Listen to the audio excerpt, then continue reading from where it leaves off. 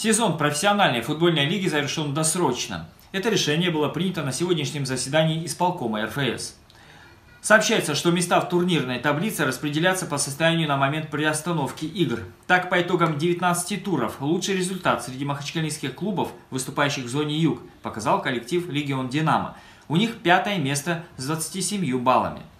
На одно очко от команды Шамиля Лохьялова отстают дебютанты большого футбола клуб Махачкала. Не так хорошо дела складывались в этом году у Анжи. Желто-зеленые расположились на предпоследней строчке.